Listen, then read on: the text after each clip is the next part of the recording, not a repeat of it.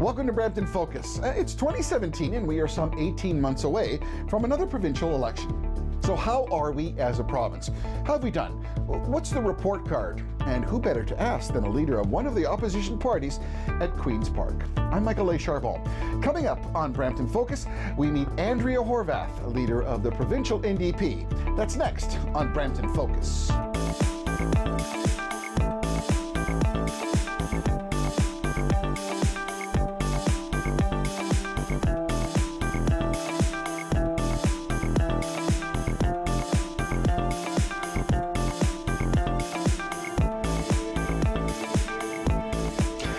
To Brampton Focus. You know, I've had the privilege to interview ministers of parliament, MPPs, all kinds of municipal uh, politicians and mayors. And you know, some politicians come to a television opportunity and they're very prepared. Um, they've got uh, all their anticipated questions. They stay on message. They they say the same thing all the time. Then you have the other politicians, unfortunately, where I really feel embarrassed for them. I feel embarrassed for us because we elected them, and embarrassed for them because they say the same thing. They have no vision. And then all of a sudden, you come across certain politicians that you really think, wow, shoot straight from the hip. Um, there is a spontaneity about the person, says what he or she feels, and you feel a good kin- kinship. Um, voted one of the uh, consistently most popular politicians in Ontario is my next guest, Miss A- Andrea Horwath. And I've had the opportunity to interview Andrea one other time. We, we spent uh, a half hour together. And I genuinely say this from my heart. I enjoy talking with you. I enjoy discussing politics. We may not agree, but I so appreciate you for what you do for Ontario and being here with us today. And Well, thanks. Thank you, Michael. It's my pleasure, actually. Um, so uh, we're going to break this up into three uh, themes because we have a, a three-part segment. The first uh, segment we're going to talk about last year, 2016, uh, talk about it in review. Uh, second segment, uh, the objectives uh, that the NDP and hopefully Ontario will take in 2017, and finally a little bit of uh, Karnak the Incredible. You know, we'll think ahead and see if we can predict in 2018 uh, we have an election year and what uh, you would do if you had the reins. So um, now we don't have a liberal uh, person here, so this is not uh, pick on the liberals, but there's uh, unfortunately several things that have been out in the public and in the news that we have to address. I, I want to talk first and foremost about road tolls. Okay. Uh, Tory uh, is talking about road tolls. He's talking about two bucks one way. So for a person who takes the Gardiner in a day, for a year, it's about 900 bucks. Where do you stand as far as the NDP is concerned on road tolls on the Gardiner and the Don Valley Parkway? Uh, well, I think I should start by saying that I understand Mayor Tory's frustration. Uh, there's a lot of work that needs to be done uh, in the on the transit systems uh, as well as on the on the highways themselves on those roads, and there's just no money.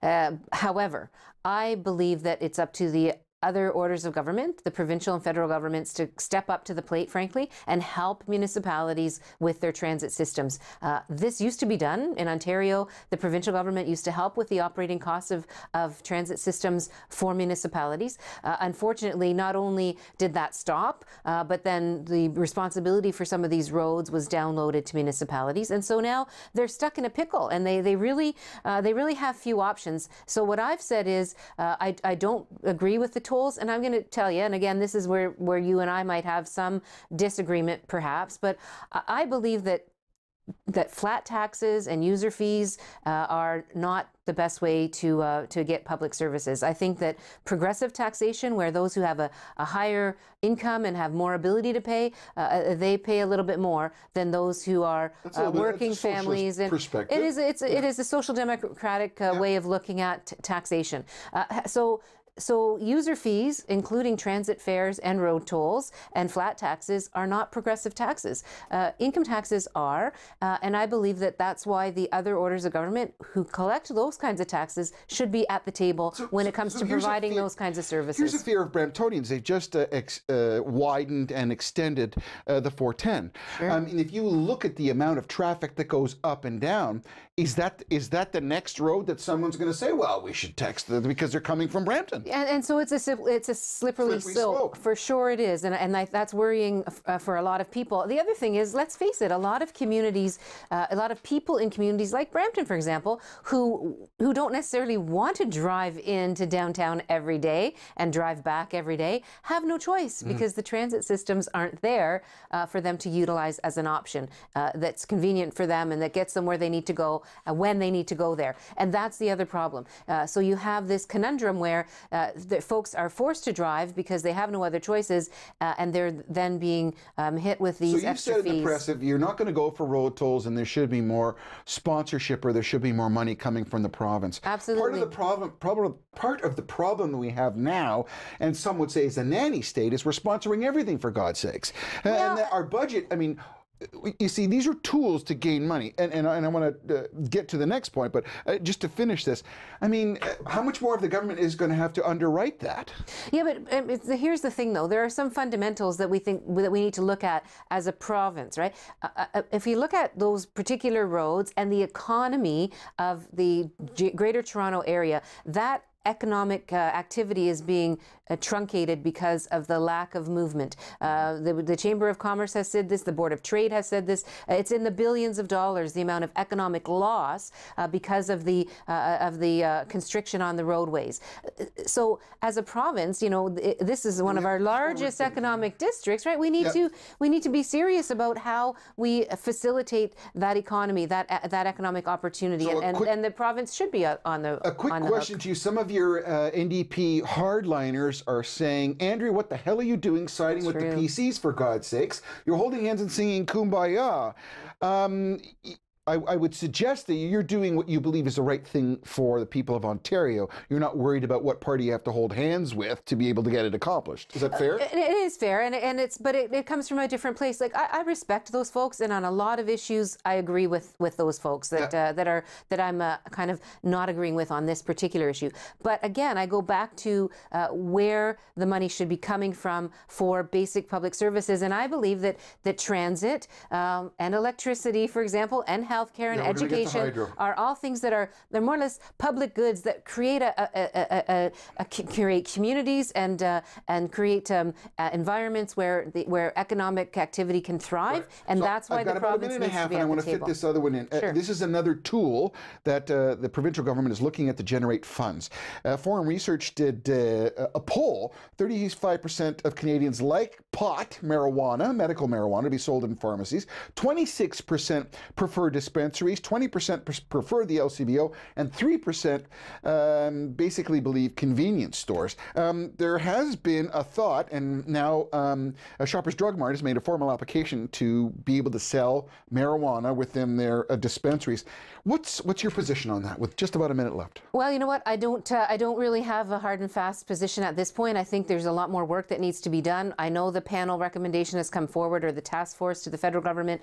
Uh, I think they need to make some decisions before we make decisions at the provincial level. However, you know, the LCBO does have some experience in using uh, their uh, in, in distribution of controlled substances, right? So, so we, need, we, we need to not just throw out the yeah. baby with the bathwater there. Uh, although there are s- concerns around selling marijuana alongside of alcohol, Mm-hmm. there's a red flag there for sure. Um, so we have the um, Hamilton Centre MPP. Andrew Horwath, leader of the NDP, the New Democratic Party, for the province of Ontario. You're watching uh, Brampton Focus. When we return in our second segment, we're going to talk a little bit about the objectives in 2016. Uh, what are some of the things that we have to do? My name is Michael A. Charbon. We'll be back with more, and Andrew Horwath right after this.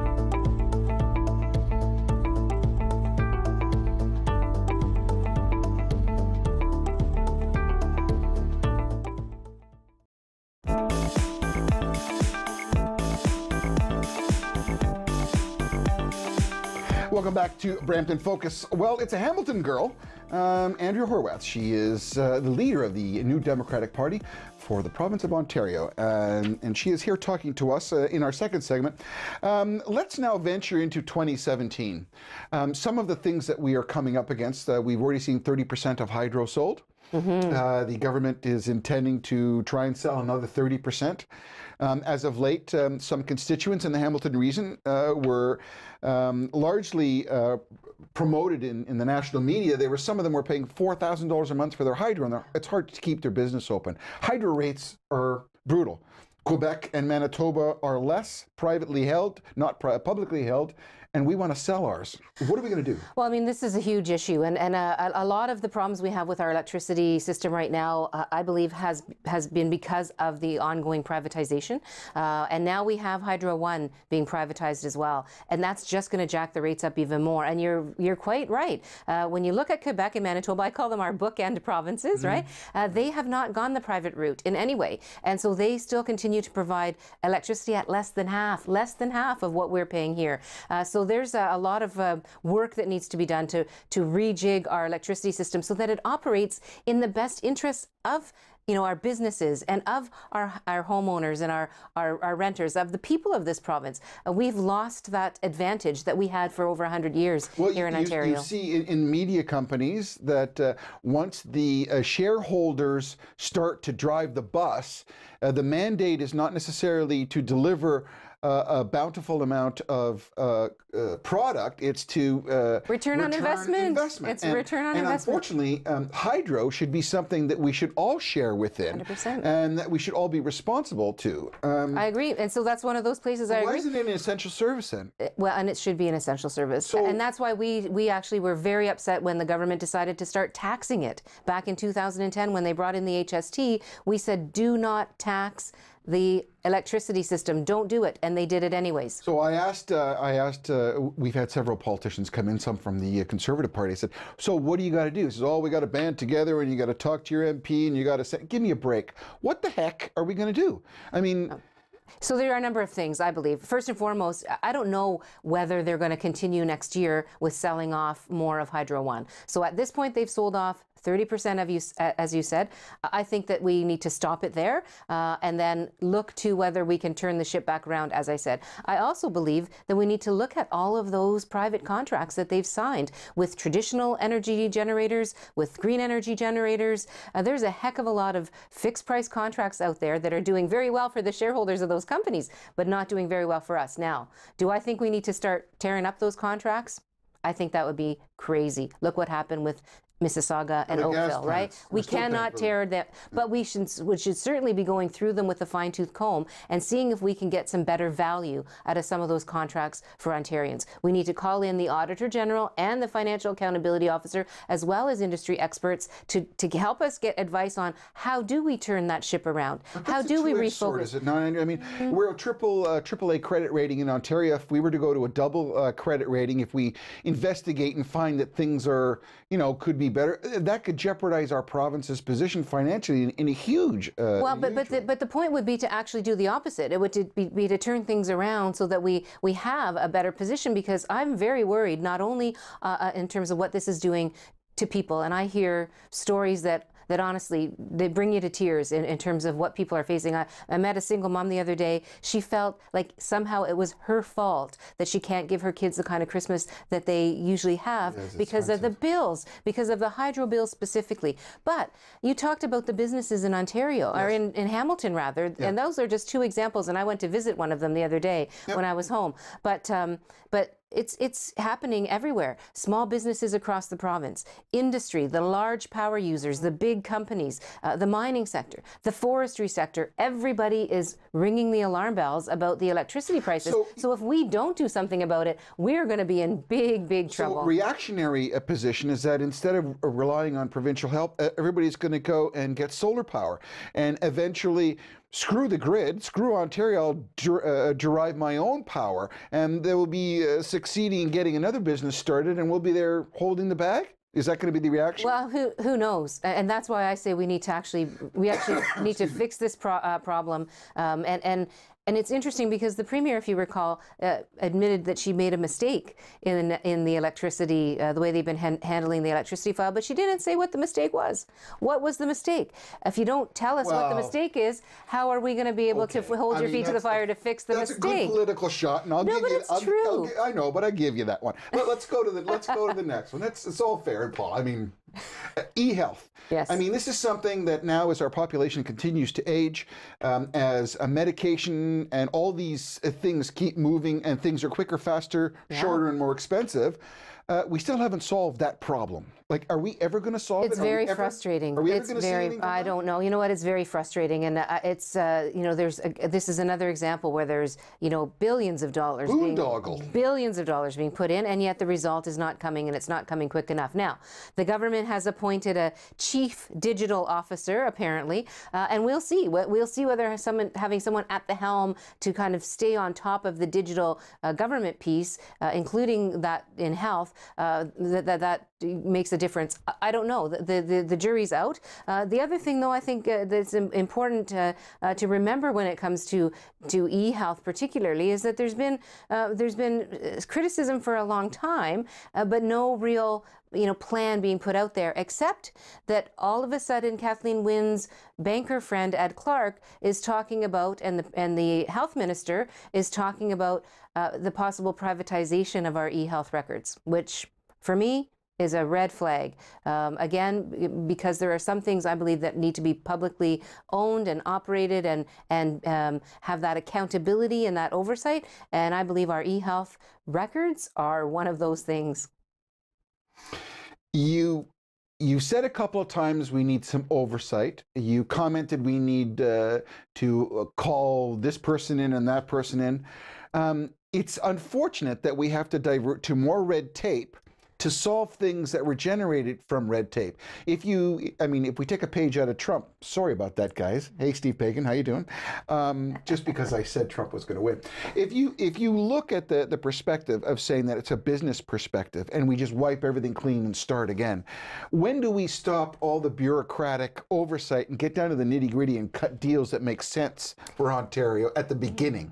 Well, you know what? It, it's interesting because I, I think there are places where we need to have, um, you know, a better uh, relationship with the private sector in in terms of uh, uh, learning, um, you know, how to how to do certain things. But I, I think it's a mistake to think that government and business are the same kind of animal because they're not. They're different animals, and the mission and the the, the purpose of government is different than the mission and purpose of business. Uh, that isn't to say that there can't be best practices, if you will, that can be traded back and forth. I agree. I agree that there can be, uh, but let's not forget that um, that the government has a totally different mission and focus than business does. Well, it's interesting when you talk to people on the street when they start to see the, the wages that some uh, public uh, sector uh, people earn compared to some people who work for the government. There is a huge divide, and uh, slowly, I think people are getting tired of that. Um, so when we come back, um, our final segment uh, with Andrew Horwath, we're going to talk about uh, 2018. Hey, it's uh, election year. What would the NDP do if they were given the reins? Uh, the Bob Raes of this world, the Jack Laytons of this world, who had a chance to do it. What if we give the reins to Andrew Horwath? Horwath, how will you ride that horse to success? My name is Michael A. Charbon. You're watching Brampton Focus. We'll be back with more right after this.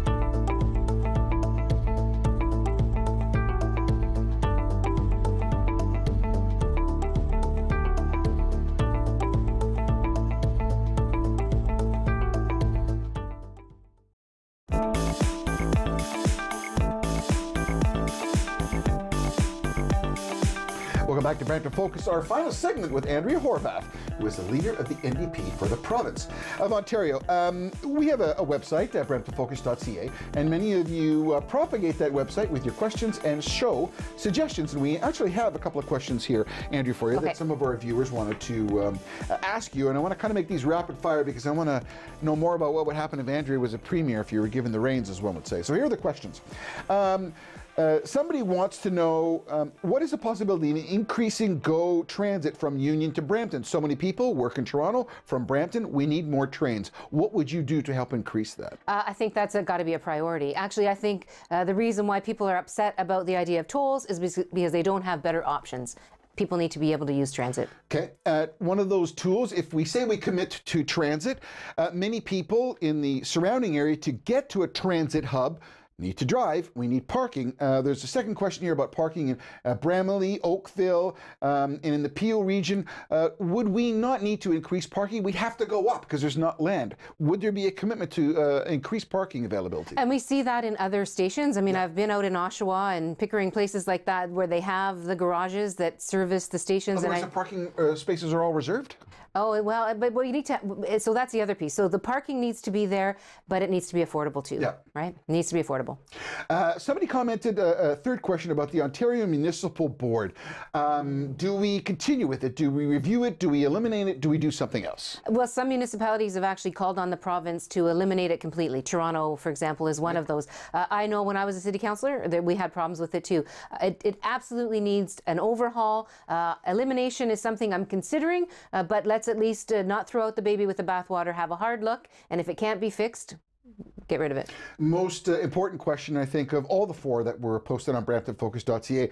Uh, what kind of initiatives uh, can we uh, look to, if the NDP is uh, given power, to invest in Peel, and particularly in Brampton. We need jobs, we need manufacturing, uh, we need to be able to maintain people to stay within the city. What would you do? Well, there's a couple of things. I mean, you named the jobs issue. People need good jobs, jobs that support families. Uh, so we need to work on that. Uh, healthcare system, again, I don't want to get into the details because there's many, uh, but this is a growing, growing community, and the investment in things like healthcare and education are not keeping up up. And so we need to make sure that that investment is there uh, to keep up with the growing needs of this community. Uh, and I think if, if, there's one other thing, uh, it's around the affordability of everyday life. I mean, people want to live here. It's a great community, uh, but uh, it's expensive to, to live in Ontario these days. Let's make, make life easier for folks so that they can have a good quality of life. Okay, and keep those questions coming.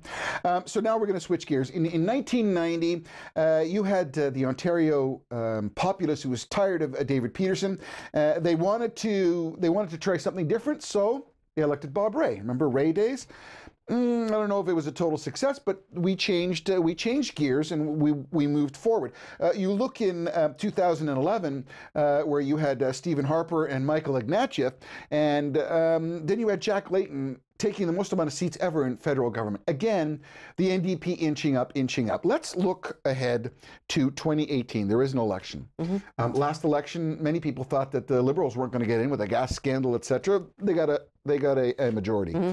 If Andrew Horwath and the NDP were given the reins of Ontario, what would be some of your objectives in the first 100 days to right the province from your perspective? Uh, I think there's a couple off the hop. One is total focus on the electricity system. I know we talked about it earlier, but it is a major issue for people. Make sure that system is operating in the best interests of Ontarians, of Ontario families, and of our businesses. That's job number one. Uh, but job number two is jobs. I mean, I think that uh, that issue around how do we make sure that good jobs are, are back here? Uh, how do we make sure that people can actually you know, have a life, build a life uh, in the communities across this province. Uh, that's got to be another big one.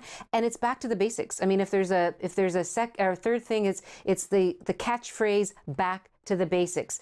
Our healthcare system's falling apart. Our education system's falling apart. Uh, we need to get back to the, the fundamentals that people expect their government to be able to deliver uh, and to deliver well. That's got to be priority number one. And for that person, um, some would say that uh, the the feeling of what happened with Donald Trump in the United States would never occur in Canada because the NDP is the Bernie Sanders party. You are that third party that offer, offers another option. With just about two minutes left, um, what would you express to the folks in Ontario in, in a parting thought as uh, as a consideration when they're looking at now? Because you know, about a, about a, year or so till sure. we get to it. Well, I mean, I think that it's important to recognize that people are very disappointed with the current government. Uh, uh, I think Kathleen Wynne is a premier who's not who she said she was going to be, and that's leading to a lot of disappointment uh, in people. Uh, I think that uh, if you see what the NDP has done over the last number of years, we've been fighting to make life better for Ontarians. That's what we believe is the job of government, uh, and that's why we've done things like force the government uh, to give us a break on our bills when it comes to the HST off of the hydro bills. when you look at the options, though, come 2018, what people are going to have to decide is um, is Patrick Brown and the Conservatives all that different uh, from Kathleen Wynne and the Liberals in the way that they've been governing governing the province? Privatization, uh, you know, uh, uh contracting out of services, small government, uh, austerity. These are the kinds of things that the Liberals have been providing in Ontario. Uh, these are traditional conservative values. New Democrats, yes, we believe that um, that we have to be careful with the public purse. We believe that 100%. In fact, we believe that giving interest payments to the big banks only prevents us from providing better services uh, to people. But it is for us about the fundamentals. It's about education, it's about healthcare, it's about good jobs, uh, it's about people having opportunity and hope for the future. That's what New Democrats um, have been working on in the last number of years, and that's what we hope to bring to the discussion uh, over these next few months leading up to the election so in 2018. 45 seconds left. I got to ask this. What are you going to do about the deficit? You know what? The, the deficit is a is a is a tough nut to crack. There's no doubt about it. But but I don't think largest that, sovereign debt in the world. But I don't think that uh, that we need to. Uh, I don't think we have to look. Um, I don't think we have to look at it in isolation. We look at the deficit as a percentage of GDP and determine the extent to which that is uh, is worrisome. Now, is it higher than it should be? Absolutely. Do we need to pull it down? Absolutely. But we need to do it in a way that provides opportunity for people. Andrew Horwath, uh, Horwath, I should say, looking forward to uh, 2018 if an election was positive. I thank you so much for being here. I enjoy listening to you. I, I, would love to talk more. Um, I think you have a vision, and that's good. And I hope it can come to fruition. Thank you for coming to Brampton. My pleasure, Michael. I'm Michael A. Charbon. Thank you for watching. We look forward to seeing you again soon. Be well.